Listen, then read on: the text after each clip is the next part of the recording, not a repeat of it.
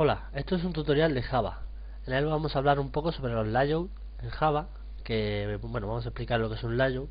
Layouts es una clase de Java que decide cómo se reparten los elementos dentro de una ventana, nos permite decidir un poco la posición que vamos a tener dentro de la ventana de los elementos, cómo los vamos a repartir y bueno, también decide el tamaño ideal y también decir que un layout puede contener otro layout, es decir, podemos tener un panel con un layout y otro panel dentro con otro tipo de layout distinto dentro. Bueno, pues vamos a hablar un poco de los layouts que vienen aquí en el entorno gráfico, son los que hay más o menos. Eh, voy a empezar por el flow, el flow layout, lo que hace es que te distribuye los elementos en línea. Tengo por aquí uno preparado. Y bueno, si vemos, tenemos todos los elementos, te los va poniendo en línea, horizontal. Si lo ampliamos, pues nos lo pondría todo en una porque ya entra. Bueno, pues ese es el flow layout. Vamos a ver el border layout, lo que hace es escribir la ventana en cinco partes. Aquí tengo también otro ejemplo con las cinco partes, la parte central, la oeste, norte, sur y este.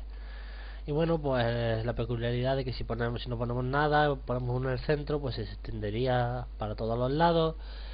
Ponemos en el lado se extendería hacia arriba y aquí hacia los lados. Bueno, más o menos como se ve. Para que ocupe siempre toda el área. Eso luego se puede configurar. Pero bueno. Vamos a seguir con el siguiente. El grid layout, que lo que hace es que nos distribuye los elementos en forma de cuadrícula. Tengo por aquí también un ejemplo con los elementos distribuidos en forma de cuadrícula. Si le damos sigue estando igual, la misma cuadrícula.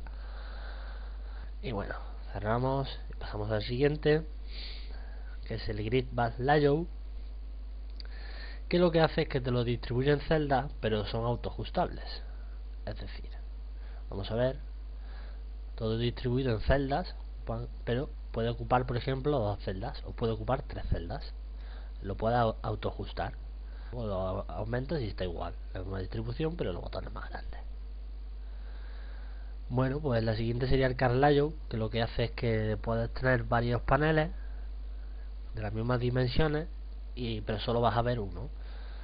Y luego tendrías que poner un botón o ponerle algún tipo de activación para pasar al siguiente componente. Por ejemplo, aquí tenemos el componente 1, tenemos cuatro componentes y vamos a ir pasando panel a panel al 2, al 3 y al 4.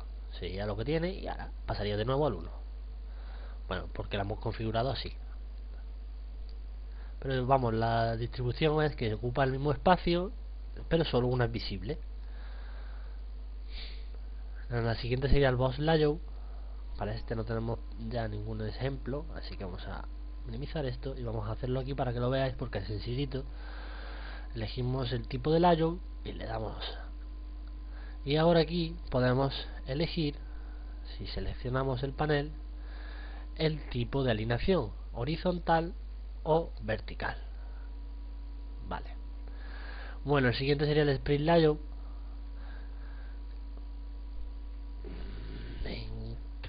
bueno nos había dado un error lo he arreglado ya un poco y bueno el siguiente sería el sprint layout que habíamos dicho que sirve para distribuir los elementos y lo que hace es medir la posición hasta el siguiente botón o hasta el siguiente elemento que haya ves lo mide y te lo reparte así para luego distribuirlo igual. Bueno vamos a pasar al siguiente que sería el form layout que lo que hace es que te lo distribuye en celdas pero puede ocupar todas las celdas que quiera. O sea puedes decirle que ocupe esta y que ocupe estas dos también y que ocupe todo eso. Y ahora lo podrías distribuir hacia un lado o hacia otro pues pegarlo a la derecha o ponerlo centrado ponerlo en el centro o decirle incluso que pues que lo rellene todo lo que ocupa. Y así con todas las celdas. Bueno el siguiente sería el MIG layout que es más o menos parecido al layout lo que pasa es que también le podemos mmm, definir lo que se va a, a, distanciar de otros elementos cuando se cuando se amplíe la ventana, cuando se tire. Bueno, el siguiente sería el group layout que lo podemos mover libremente pero siempre nos busca el paralelismo con otros elementos siempre ahí nos lo marca dónde estaría el paralelismo y para ponerlo. Bueno y así con todos más o menos eh, podríamos así. Y bueno luego está el absolute que lo que hace es que pone el layout a null y lo podemos distribuir donde queramos como queramos y lo que hace es que en el código te lo, te lo pone por píxeles.